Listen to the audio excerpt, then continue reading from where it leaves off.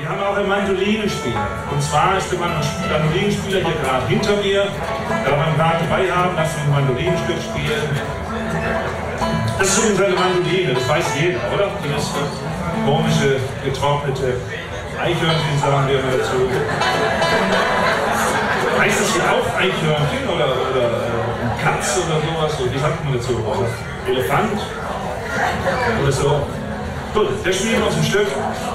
Oh, ich habe vergessen den Namen zu sagen. Samuel Hein auf der Mandoline. Herzlichen Applaus.